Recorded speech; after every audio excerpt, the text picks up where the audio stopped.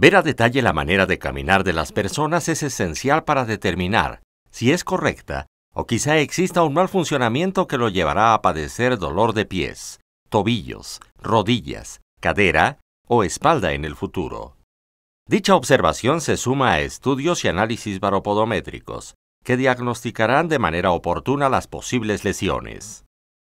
Baropodometría, como su nombre lo indica, es varo de presión, podo de pie, metría de medida. Entonces, medimos a través de altísima tecnología de plataformas, de softwares, de cámaras, las presiones plantares que ejerce el pie conforme vas caminando. La persona que camina sobre la plataforma este, va imprimiendo toda esta secuencia de apoyos del pie desde que hace contacto con el talón hasta que despega con el dedo gordo. Los deportistas y personas a pie pueden prevenir el dolor de tobillos, rodillas, tendinitis y lesiones comunes con ayuda de una plantilla que amortigüe el caminar.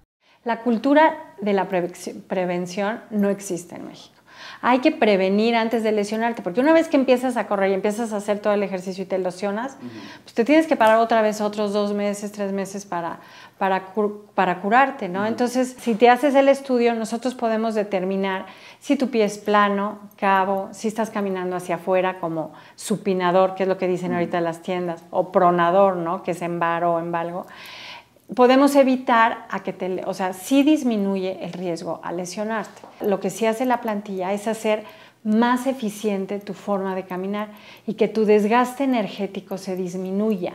Pero realmente lo que estamos estudiando es la biomecánica del pie, que el pie ruede de manera correcta desde que haces contacto con el talón hasta que despegas con el dedo gordo. Entre más rápido corras, más impacto, más dejas de poner el talón y pones muchísimo impacto en la parte del antepié porque lo haces más eficiente. Y son más que nada como fracturas por estrés, que porque están, pues hacen mucho, mucho ejercicio y, eh, y, sobrecargan esta parte. Y te digo, los problemas de raíz muchas veces son los pies y te puede estar dolando la ingle o la cadera, la rodilla.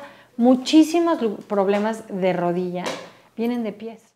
Con información de Pablo Tiburcio y Verónica Torres Lizama e imágenes de Raúl Monroy. Notimex.